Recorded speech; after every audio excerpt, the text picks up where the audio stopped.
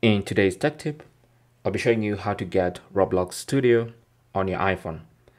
Now, the first thing you want to do is go to Safari browser and then in the URL bar, just type create.roblox.com.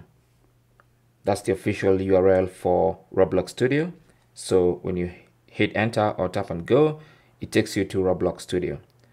Now, from here, you can go ahead and log into your account. And as you can see, currently I'm logged in, but the URL is still create.roblox.com. So now that you're logged in, what you want to do is tap on this share icon. And from the menu that pops up, scroll and look for add to home screen. Tap on that, and then you're going to see the Roblox Creator Hub or Roblox Studio. You can see the icon right there. So just tap on done and that's going to add the Roblox Studio onto your home screen.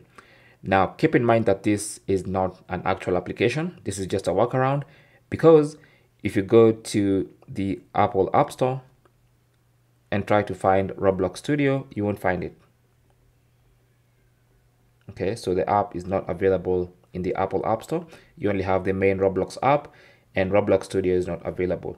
But you can use it on your browser and that's why we created this uh, little shortcut that when you tap on it, it opens uh, Safari browser and opens Roblox Studio, allows you to log in if you had saved the password. And once you log in, then you can use Roblox Studio. That is basically how to add the Roblox Creator Hub or Roblox Studio on your iPhone. Thank you for watching.